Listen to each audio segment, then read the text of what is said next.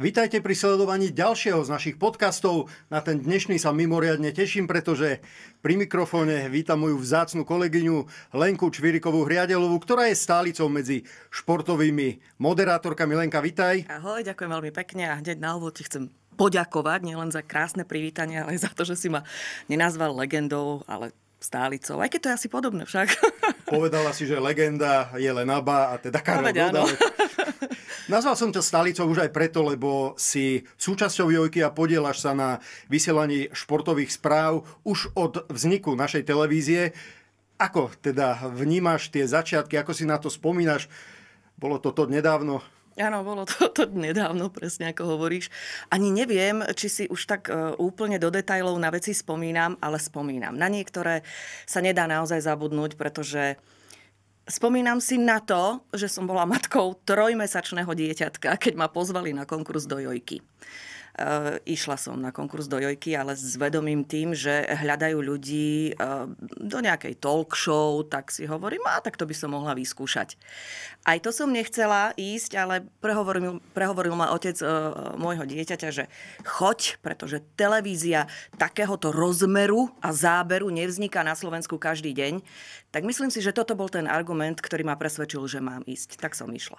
Uh, my sme sa tam stretli spolu a ja som sa veľmi tešil na stretnutie s tebou, pretože nielen, že sa tvoril mladý kolektív, ale sme si už tak oťukávali tých ľudí a teda bude tam baba, ktorá možno bude robiť športovú moderátorku, ja som tam išiel ako športový redaktor a tá baba má 3 mesiace a predstav si, že oni musia ešte predtým cestovať do Prahy, že ako ona bude zvládať tieto materské povinnosti. Veľmi som bol na to zvedavý a zvládla si to bravúrne. Bolo to veľmi ťažké, lebo mm, mm, naozaj ja som ešte dojčila a keďže som mala otvorenú letenku e, do Prahy, kde nás zaškoľovali v Pražskej Nové, tak e, toto nepustí a jednoducho môj syn nevedel spať dobre v Košiciach, tak ja som musela svoje materské mlieko nejakým spôsobom do Košic dopraviť.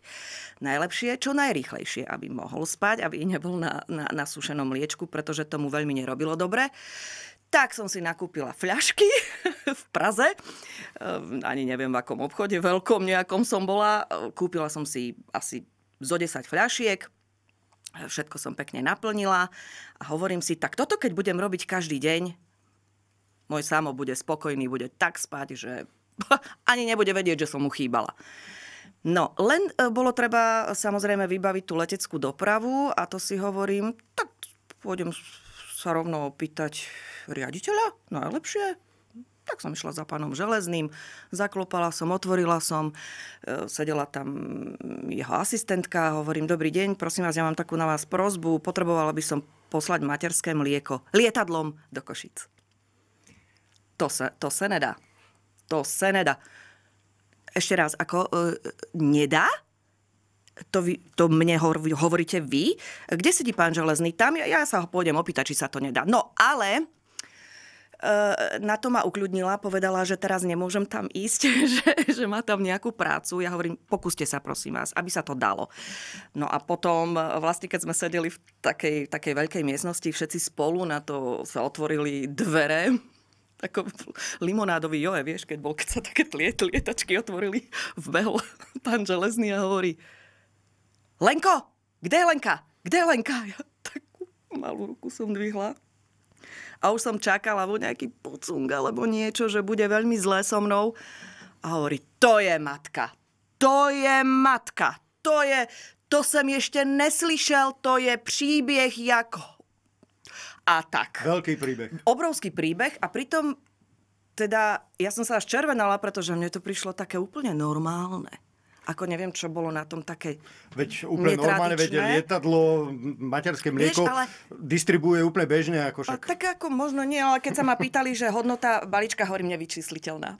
Presne Toto tak. nekúpite, hovorím. No. Bolo skvelé potom, keď sme sa stretli v Košiciach a my sme už nacvičovali uh, priamo to vysielanie do športu a niekto v režii sa ozval práve v kontexte s tebou, že ale toto nie je možné. A na to nikto ho nevidel, lebo pán Železný vždy stal tak uh, bokom a vždy tak nejak len z povzdialia sledoval tú situáciu a zrazu len jeho ostrý hlas.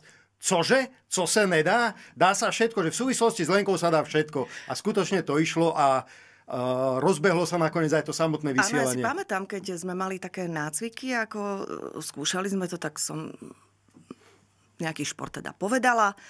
A o, pýtam sa, že pán Železný, no čo hovoríte? A on, je to fajn, len um, takto mykáš hlavou hore stále. Ja hovorím, ja? Že, to, ale je, to je pretlak energie. Že jednoducho ti to vystreluje treba takto. Hej, niekomu to ide inde, mne to robilo toto. A on hovorí, ale ja ti dávam taký, taký polorok, povedal, alebo nejakú takúto dobu. Hovorím, prosím, zapnite kameru.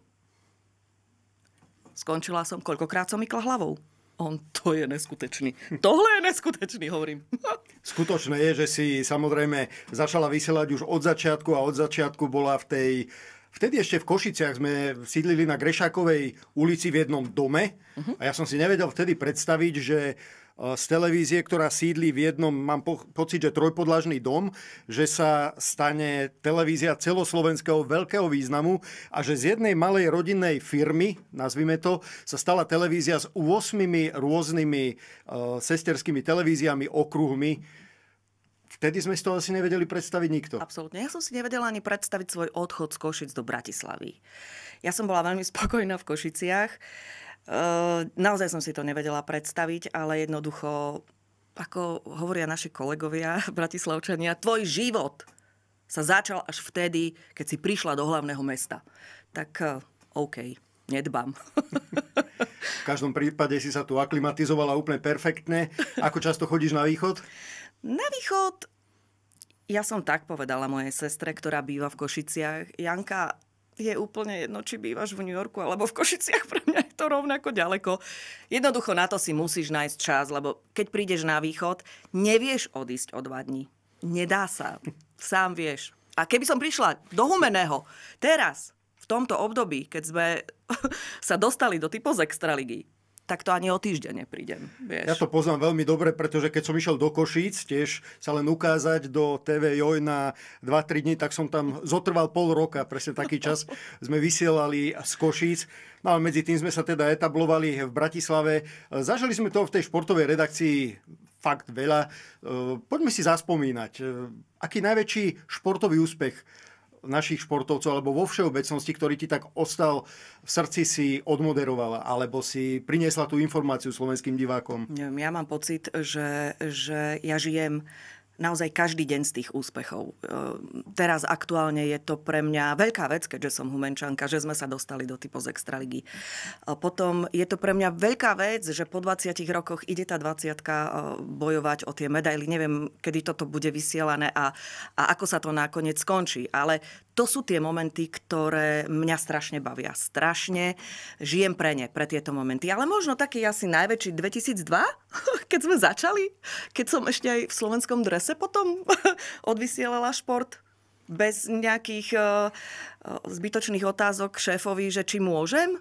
Jednoducho toto, som išla. Toto by ma zaujímalo. To bol pamätný Göteborg. Ešte kým sa vrátime k Göteborgu, tak veľmi dobre hovorí, že naši 20-kari futbalisti idú hrať na šampióna do Argentíny a naši hokejisti 18-kari sa idú byť o tie medaily. Čiže to sú, to sú veci, ktoré topky, vidíme na tebe. Topky. Vidíme na tebe, že to veľmi teší na všetkých tiež. Vráťme sa do Göteborgu. Tam som sledoval telku a teda fakt, ak som sedel na tej stoličke, skoro som z nej spadol. Lenka Čvíriková Hriadelová, oblečená v drese slovenskej reprezentácie a dáva šport na jojke. Kde vznikol tento nápad? V mojej hlave.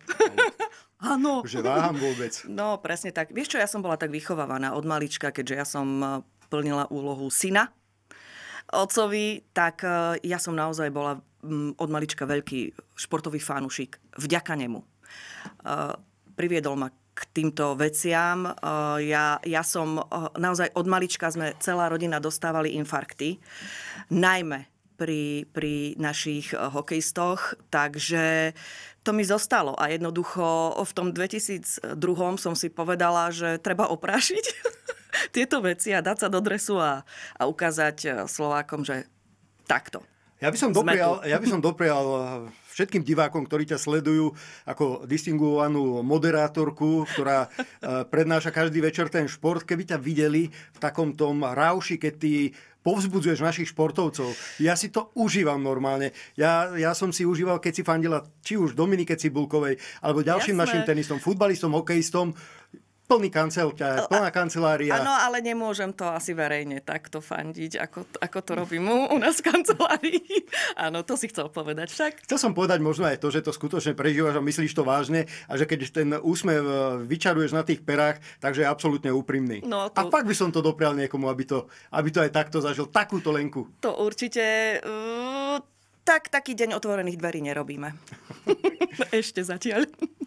No dobre, bavili sme sa o hokejistoch, ktorá si spomenula Humene, ako si uh-huh. uh, Humenčanka, srdciarka. Bola si už v kontakte možno aj s niekým z domu a rozoberali ste tento veľký úspech hokejový?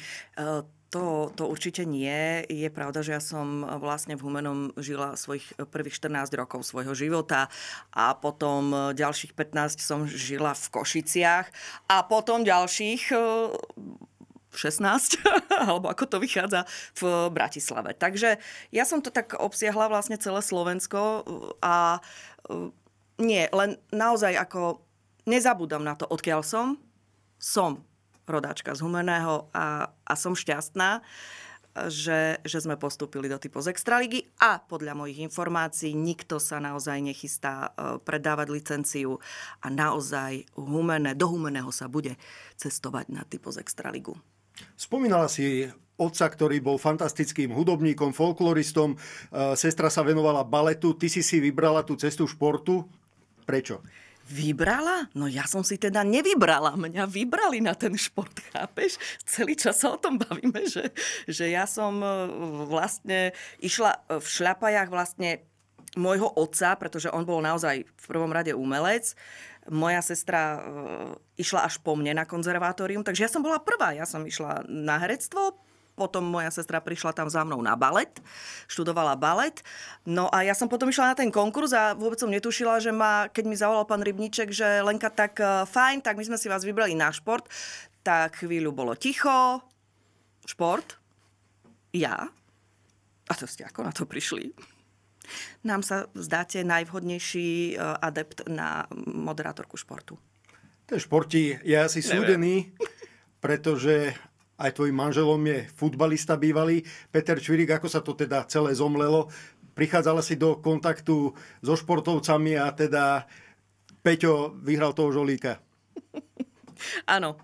Uh, neveril by si, ale ja som svojho otca nazývala sobašným podvodníkom, pretože on vlastne dal dokopy moju sestru s terajším manželom a mňa dal dokopy s terajším manželom. Takže uh, myslím si, že on si vybral svojich zaťov, nie my svojich mužov, ale v poriadku, OK. Uh, ide nám to. Teraz idem tak trošku špekulovať, toto nemáme dohodnuté určite. Tvoj otec pôsobil v Puchove Peťo hrával v Puchove. Tam niekde sa to začalo? Presne, či... tam sa to začalo. Presne tam. Keď mi raz v nedeľu na obed môj otec volal a vedela som, že mi nevolá z omše, tak som zodvihla telefón a hovorím, tati, Lenka, neuveríš, s kým teraz sedím? No daj, či neuverím. Ale tak ty ho aj poznáš, veď ste boli spolu na besede, na základnej škole. A už potom mi tak akože, aha, viem, Čvírik. No, Čviro, Čviro sedí so mnou. Hovorím, no, super. E, pýta sa, či mu môžem dať na teba číslo. Tak daj. Hovorím, tak poznám, tak viem kto. No, tak no, a, a tak. Potom si vieš predstaviť ten hurikán. Andrew.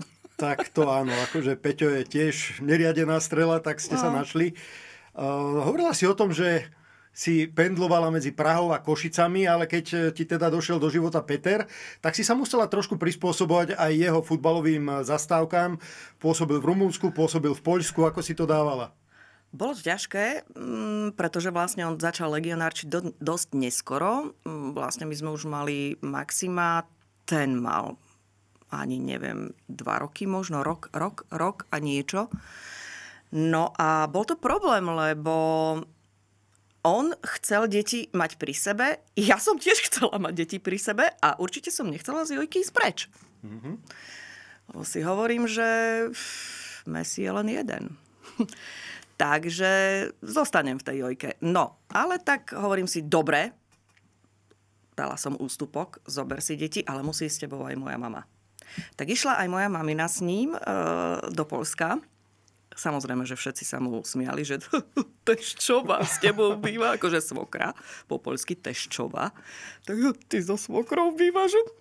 tak bol veľmi obľúbený inak v kolektíve, tak e, musel chodiť na čas domov. E, myslím si, že toto bolo z mojej strany veľmi dobré riešenie, také šalamúnske. Ale musela som... Najbližšie sa opýtame Peťa. Musela som a chcela som cestovať, samozrejme, za deťmi, aj za ním. Ale nie, musela som cestovať teda do Polska každých 7 dní, keď som teda, vieš, vysielala mm, týždňovky. No a tam ešte nebola tá infraštruktúra, čo sa týka ciest, e, taká ako je teraz, keď tam bolo euro. Jednoducho e, to, to bol nekonečný príbeh sa dostať autom do Gdaňska. Máš okolo tisíc kilometrov.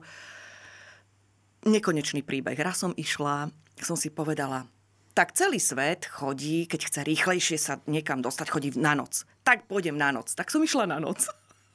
O 4 ráno sedím v aute, v loďi, v takej zápche, na 8 prúdovke, v takej zápche, že o 4 ráno? ráno. Hovorím si,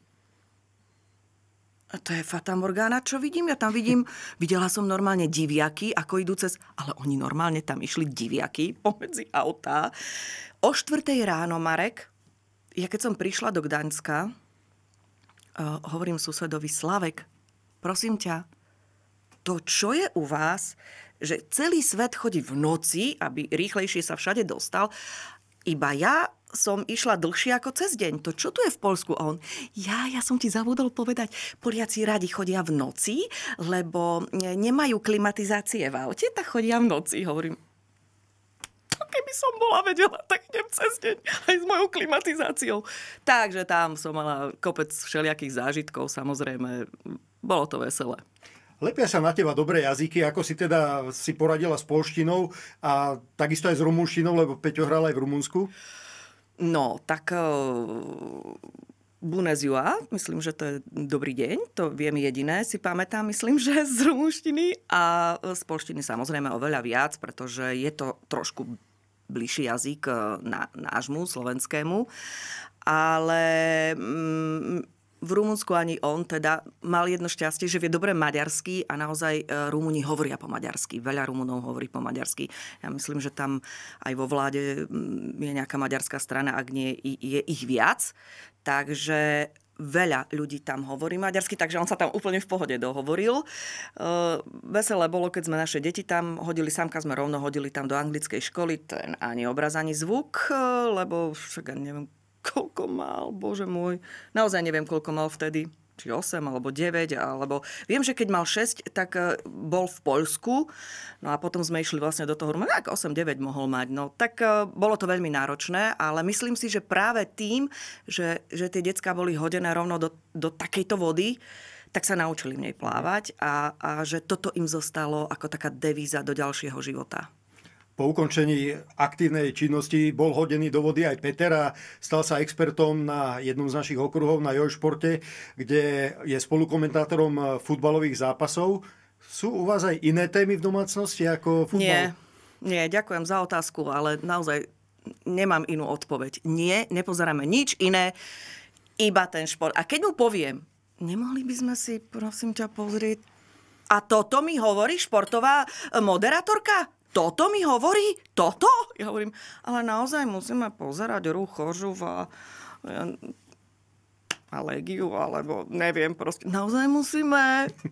No a tak musíme, jednoducho. Nie, naozaj, on, eh, on je absolútny fanúšik eh, totálne eh, všetkých športov. No, dobre, futbalu na hociakej úrovni, hokeja, takisto.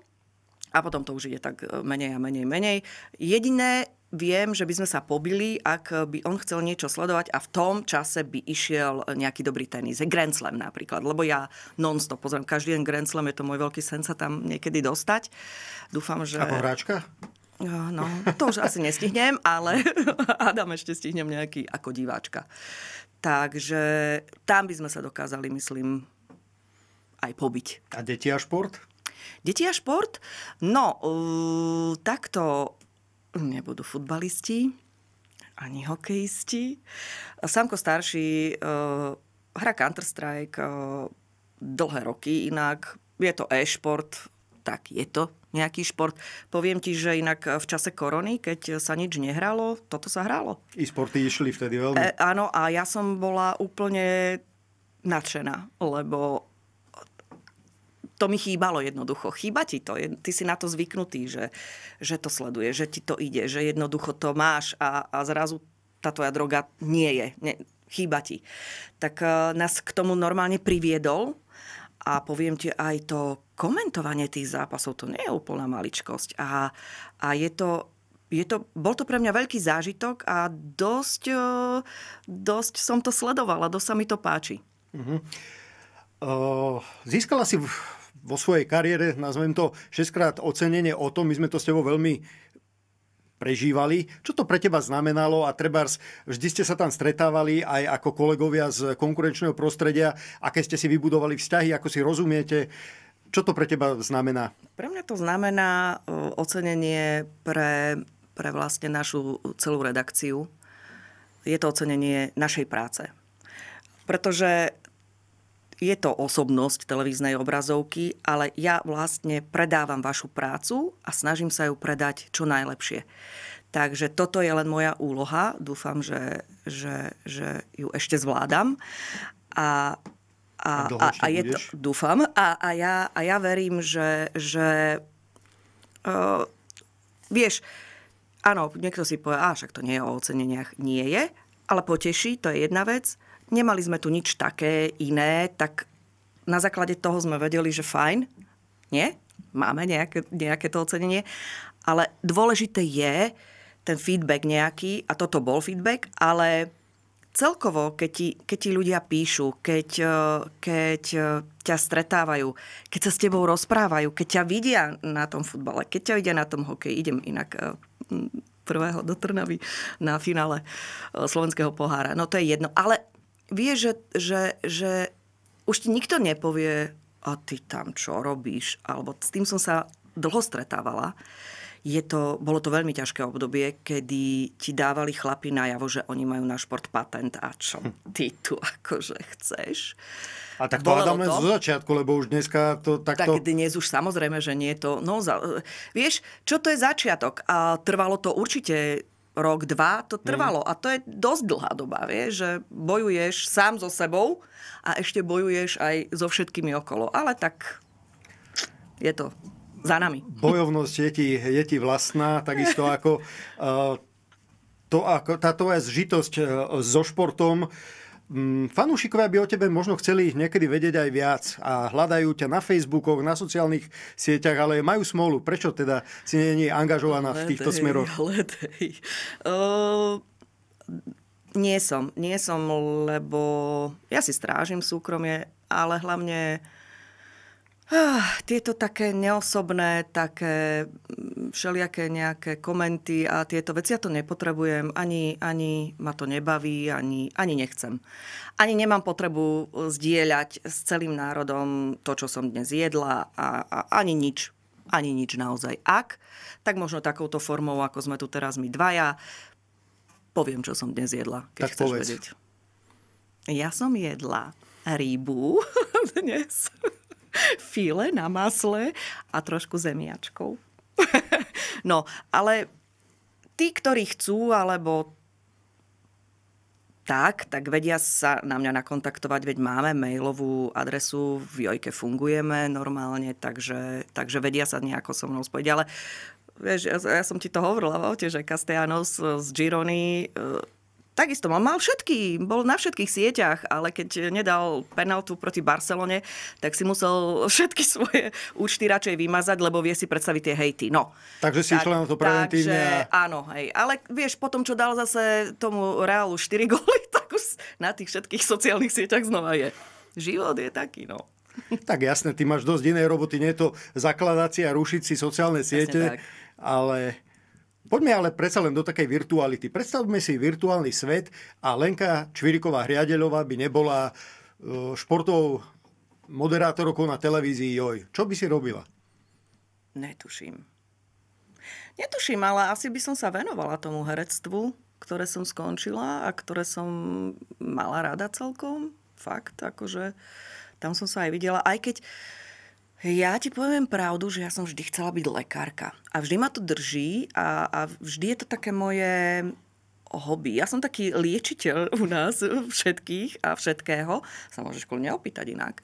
My to vidíme aj v redakcii. Ty takže... to vidíš aj v redakcii, presne. Takže je to, je to naozaj takéto moje hobby a neviem, že či by som ešte zvládla také niečo, že ako vysokú uh, medicínu, vysokú školu medicíny, ale skôr nie. Myslím si, že ja by som, že by som bola herečka. Takže viac herečka ako lekárka. To sme inak všetky, ako vy hovoríte, iba ja mám na to papier, vieš. Áno. Asi to by som bola, no. Lenka, my sme veľmi radi, že z teba nie je ani herečka, ani lekárka, pretože sa v tvojej prítomnosti v našej športovej redakcii cítime veľmi dobre. Ďakujem vám. Teším oh, sa z vás. Tešíš sa z nás, my sa tešíme zo seba. A teraz už šup, šup musíme utekať do športovej ano, redakcii. O chvíľu vysielame. Lenka, veľmi pekne ďakujem Takisto. za tvoj čas. Ďakujem ti veľmi pekne. A prajem pekný deň všetkým, ktorí ste nás sledovali.